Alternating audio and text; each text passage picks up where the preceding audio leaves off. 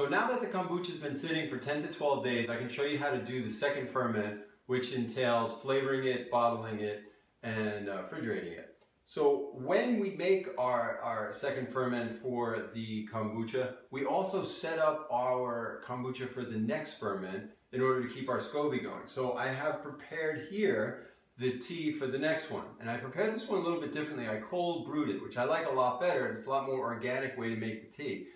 It essentially all you need to do is put tea bags in pure water for at least 12 hours. I put mine in the day before and studies have shown that it has the same amount of, of antioxidants as warm brewing, but it also has less caffeine, at least half the amount of caffeine. It is less acidic and it has less tannins in it, so you won't have that bitter taste as well. The only thing is when you cold brew, all the sugar doesn't dissolve. So I take the sugar that didn't dissolve at the bottom of the bowl, put it in warm water, and dissolve it by stirring. You don't have to boil the water though. So I highly recommend cold brewing it and then you don't have to worry about uh, lowering the temperature of the warm brew either.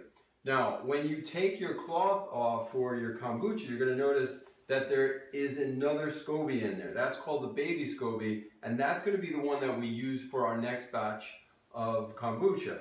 The mother is either attached to it uh, and then when you need to separate them or it's underneath it here. So if you need a SCOBY to start, I'm going to have links at theartofunity.com on where to get one of those, have them sent to you.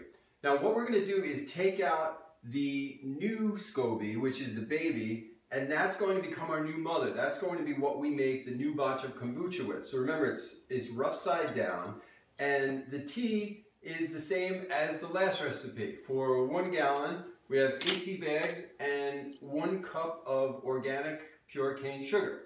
And also you're gonna take a cup or two of starter tea from the old batch and put it in the new batch. You're also going to see these little yeast bits in there, and those are okay to eat too. They're essentially good probiotics or bacteria for you. If you don't like them, you could just pull those out. Now what we're going to do with our old SCOBY, which was our old mother, is we're going to put it in a jar and put it in the refrigerator. This is called the SCOBY Hotel. And the reason why is because this is our backup plan. God forbid we lose our SCOBY from uh, fruit flies or mold or something like that. We have, uh, we have some backup ones. And I recommend saving about five of these. After that, you can start giving them out to other people and you can uh, eat these, you can cook it, whatever you like to do. Recipes for like typical mushrooms.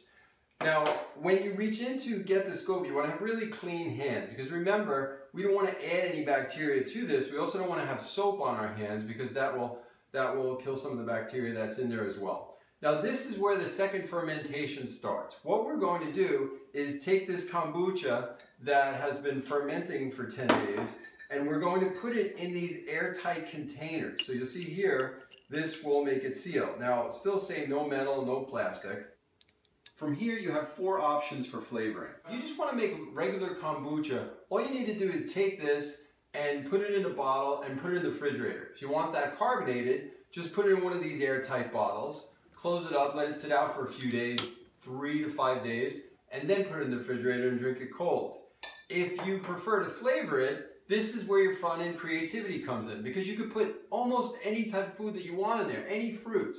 You could put kiwi, pomegranate, red or white grapes, mango, blueberries, strawberries, rhubarb. As far as herbs, you could also put whatever herbs you want in there. Turmeric, mint, rosemary, basil. I've tried all these and they taste great. You could even put more sugar in it. You could put some raisins, honey, maple syrup, or any other sweetener or frozen fruit that you like. For this batch, the first one I made is with pear and ginger. And pomegranate in another, and pomegranate and blueberry in the third one. If you use pomegranate, the best way to get the seeds out is by cutting it into quarters and letting it sit in pure water for 15 minutes or longer.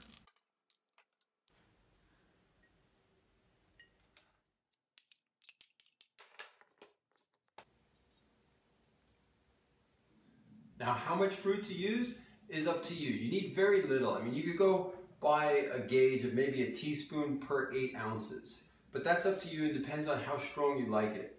all you really need is the sugar. So you could actually use store-bought juice, commercial juice as well. I don't like to do that because it doesn't have any enzymes in it and it's essentially, there's no probiotics either, but uh, it's more of a predictable medium. So with these, depending on, on how carbonated you want it, you really only need to leave them out two or three days. And at first, you're gonna need to burp them. You don't normally have to burp them because you want that carbonation to build up. But the reason you're gonna burp them at first is because you're gonna gauge at how much the carbonation is forming where you live because it depends on the temperature where you keep these as well. The higher the temperature, the quicker they're going to ferment and the more carbonation there's going to be. The lower the temperature, like if it's in winter, you'll notice it might take an extra day to make the same uh, amount of carbonation. So it's between two or three days with fruit. With commercial juices, if you're going to use that, you same thing, like a, uh, maybe a teaspoon or a tablespoon per eight ounces, and you can leave that out for a couple more days, maybe three to five days, depending on uh, where you're at before you refrigerate them. Now, you can use mason jars as well. I don't like to use the mason jars so much because the mason jars even though they create a seal at first, when there's carbonation inside, they push out the top of the metal jar and allow for gas to get out as well as some of the kombucha. Now you're going to want to fill up the jars as much as possible to get the maximum amount of carbonation. If you don't, then what's going to happen is there's going to be a lot of room for the, uh, the carbonation to be inside the jar without it being into the drink. So if that happens, so for example, if you run out of kombucha to put in a jar like this and it's only halfway, what you can do is let it sit in the flavoring for a couple days, then put it in a glass bottle like this one, and then close that up and let it seal. Leave it out for a couple more, more days where it's close to the top, and then you'll, you'll have the carbonation come into it that way. You can, after you do this, there's a couple different things you could do. You can either strain the fruit out, put it in these glass bottles, or you can leave it in there. It's just a matter of aesthetics at that point, whatever you prefer. I don't mind having some of the fruit in there, but when I make it for people and give it to them, I strain it first, put it in these uh, glass bottles, and seal it tight, make sure it's carbonated, and give it to them, tell them to refrigerate it. Now remember, this not only tastes great, it's a super gut healer. And in Ayurvedic medicine, for example, they say your gut is 90% of your health, both physically and mentally. So it's something that is really going to be cleansing and detox for you. So for that reason, if you're just starting out with this and uh, you're, you haven't done anything else health-wise, what you might want to do is try a cup of kombucha first, see how that goes over with you, because you might be on a toilet for a lot of the time because it's super detox. It's also great uh, probiotics and enzymes and so many other things. I've heard different numbers, but I think it's about 50% of the American population right now has leaky gut syndrome. So if you've ever drinking alcohol on an empty stomach or eat a lot of sugar, if you have symptoms like really bad PMS, if you're getting headaches, if you have joint pain, food sensitivities, or gas, there's a good chance you have it. And it's one of those things where if you don't treat it, it only gets worse. This is one of the things that's going to help with that. A, good diet is going to be something more like you want to get on, but these are one of the things that help. Gluten is also a big cause of those things in, in addition to sugar and alcohol.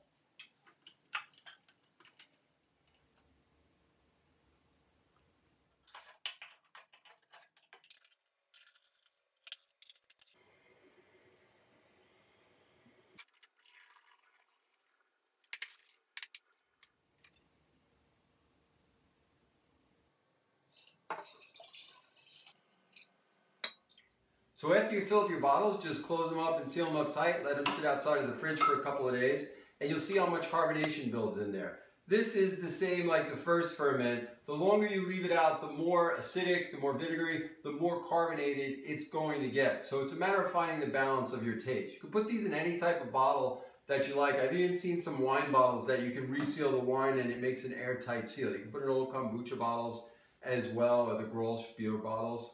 Now, you don't want to shake these because it would be having the same effect as shaking a, uh, a, can of soda and you could explode it.